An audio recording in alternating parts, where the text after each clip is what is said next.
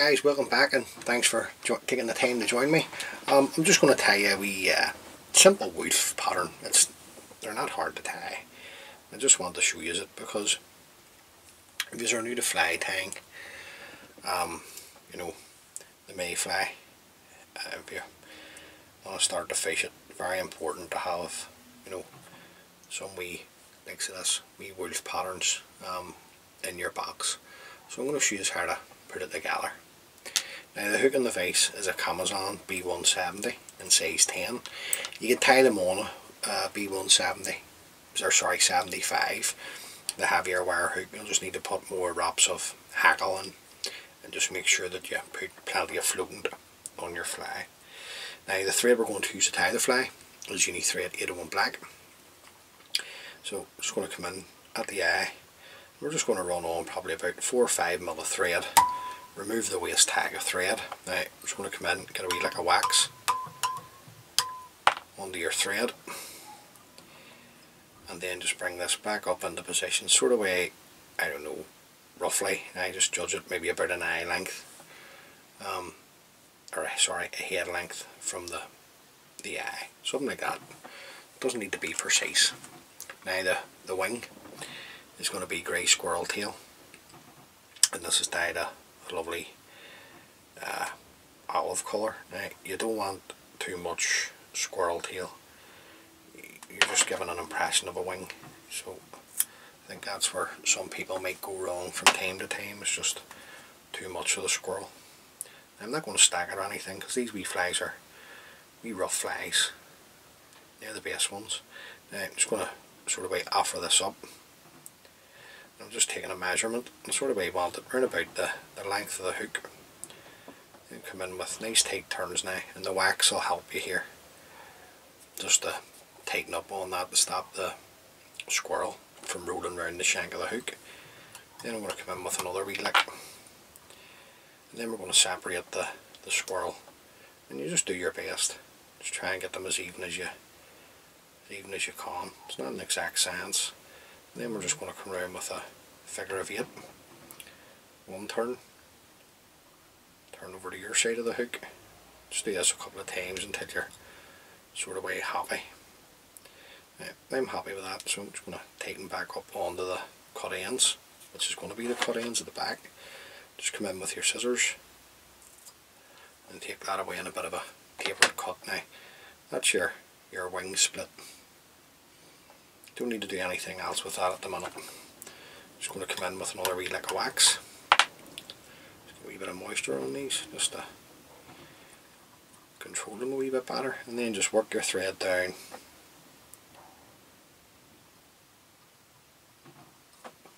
Right down, sort of way till you're sort of way shy of the barb of the hook.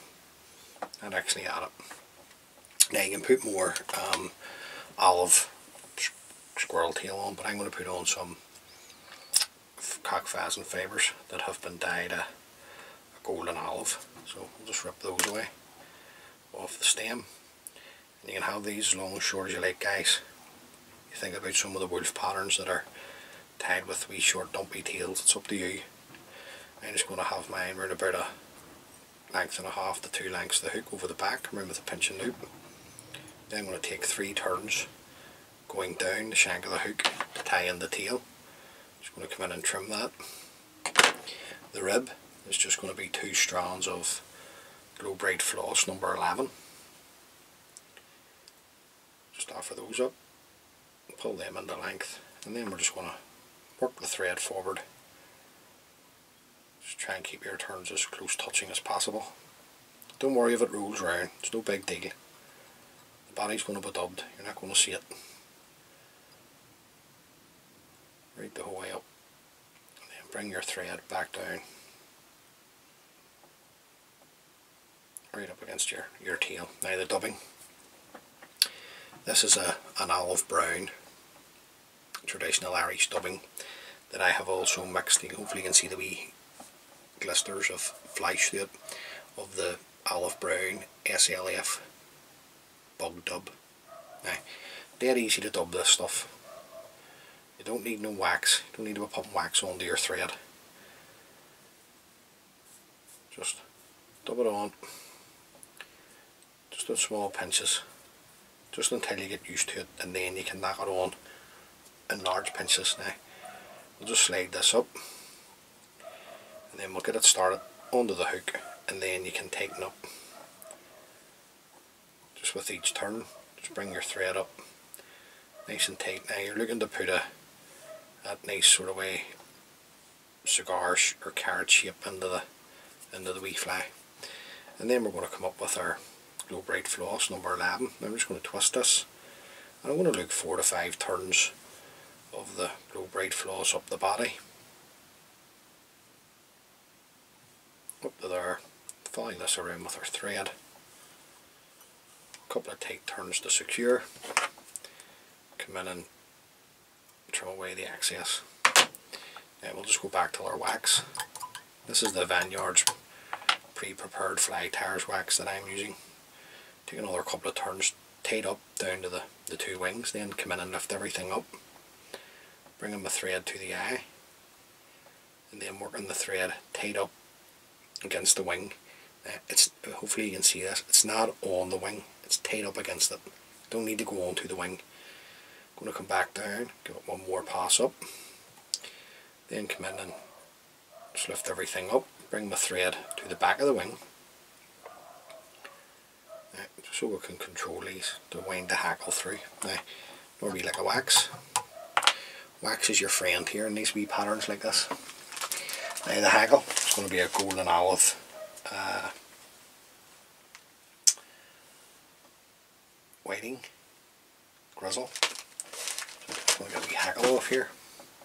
Now we're just going to strip away the rubbish from the bottom and you want to tie this in with the dull side of the feather facing yourself and the nice shiny part of the feather facing out if that makes sense. Now, I'm just going to come in we'll catch this in.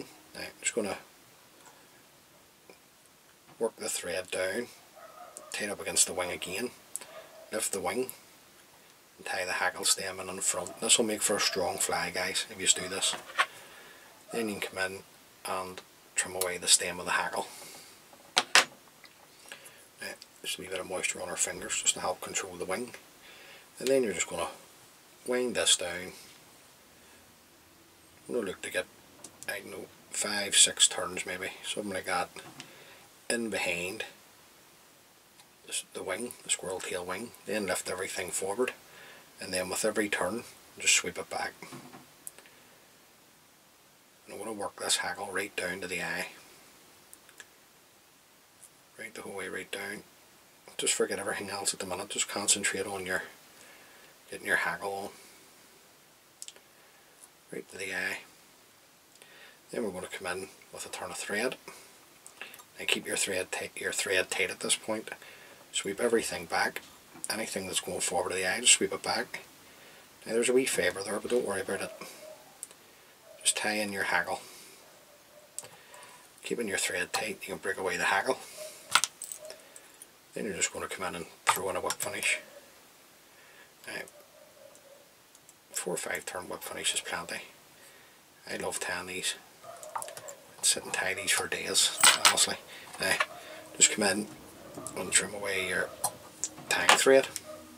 Then you come in and bring everything out to set out for you, nice and perpendicular to the hook, the way you'd like to see a mayfly Wulff dress now. Eh?